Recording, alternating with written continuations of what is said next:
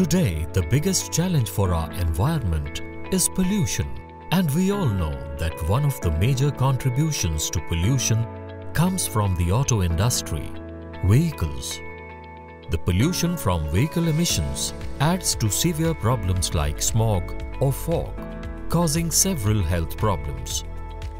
The government is taking a lot of initiatives and one such initiative is bringing newer emission norms known as BS norms. These norms enforce low emission of particulate matter and harmful gases like nitrogen oxides which are released from vehicles. Bharat Stage 4 are the norms that were implemented in April 2017. BS4 norms are directed towards reducing the level of particulate matter up to 80% and harmful gases like nitrogen oxides up to 30% as compared to earlier BS3 norms. To meet these stringent norms, OEMs or the vehicle manufacturers have adopted two technologies in India, SCR and EGR. SCR is a new after-treatment device which converts harmful nitrogen oxides to nitrogen, carbon dioxide and water vapor. Let's understand how SCR technology works.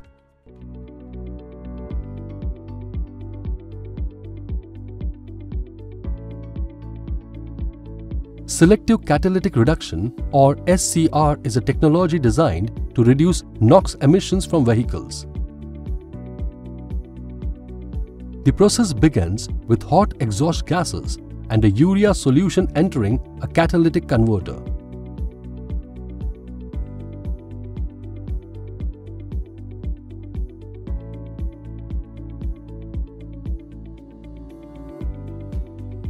When the solution comes into contact with the catalyst, the ammonia created from urea reacts with NOx to form nitrogen, water and tiny amounts of CO2, natural compounds common to the air we breathe every day.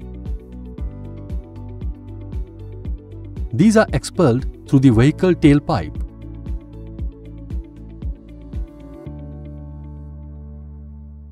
As we saw, SCR is an after-treatment device and a very effective technology to treat nitrogen oxides. The technology uses a new fluid called AUS32 or aqueous urea solution. It is important to know that AUS32 or the aqueous urea solution is also known as AdBlue or DEF or diesel exhaust fluid. It is the same fluid known by different names.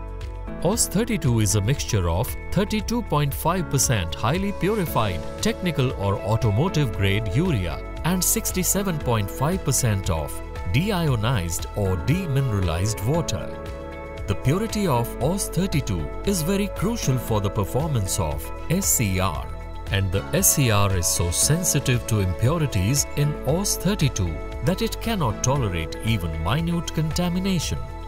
Thus, the purity of the solution is very critical not only for the efficient conversion of nitrogen oxides but also for the durability of the SCR system and vehicle operation. The specification of AUS32 is defined by ISO as ISO 22241. To meet this specification, we not only need a highly purified urea and virtually mineral and contamination-free water, but also an ultra-clean manufacturing unit, stringent quality, continuous monitoring during production, packing and even storage. Just to emphasize how sensitive SCR is towards AUS32 quality, let's look at this. 1. SCR cannot tolerate even the RO purified water that we drink. Another simple example is that a teaspoon of salt is good enough to spoil 20,000 liters of AUS32. The SCR catalyst looks like this. When it is subjected to an inferior quality AUS32, all the contaminants tend to deposit on the face of the catalyst. This reduces the efficiency of the catalyst to convert the harmful nitrogen oxides to nitrogen carbon dioxide and water vapor.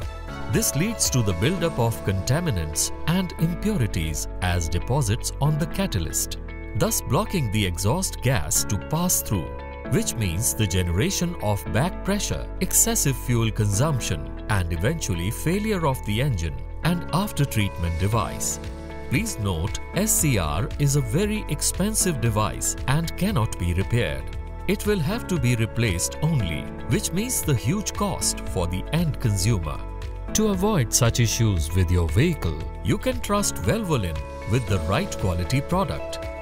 Valvoline being partner of Cummins understand the engines and their after treatment systems and are committed to offering the right quality of AUS 32 for consistent and efficient performance and not compromising the durability of your engine and SCR. Certified by American Petroleum Institute. Use Air Shield Cummins Genuine DEF